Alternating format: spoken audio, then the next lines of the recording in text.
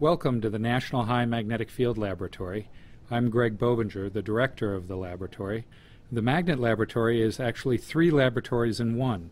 Our headquarters are at Florida State University in Tallahassee, Florida, and we have two branch campuses.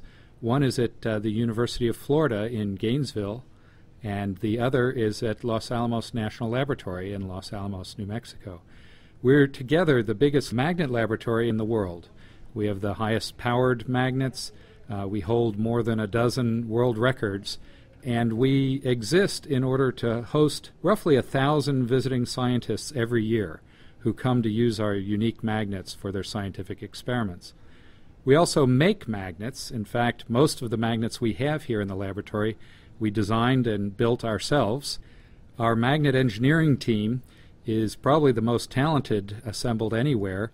Uh, we're funded by the National Science Foundation primarily, and we get quite a bit of support also from the state of Florida and from the United States Department of Energy.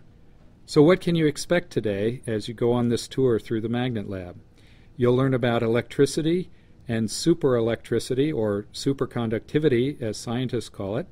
You'll learn about the different types of magnets. You'll learn how they work, and you'll learn what we use them for. There are several types of magnets. Permanent magnets are materials that are intrinsically magnets. So the magnets you have on your refrigerator are examples of permanent magnets. So basically, you guys use giant refrigerator magnets? No, we don't use permanent magnets at the Mag Lab because they don't get strong enough. We use electromagnets. What are electromagnets? Electromagnets use a coil of wire that conducts electricity along the coil and generates a very high magnetic field in the center of the coil. Some of you may have built electromagnets, in fact, in science class in school. The different types of electromagnets that we have include superconducting magnets, continuous electromagnets, and pulsed magnets.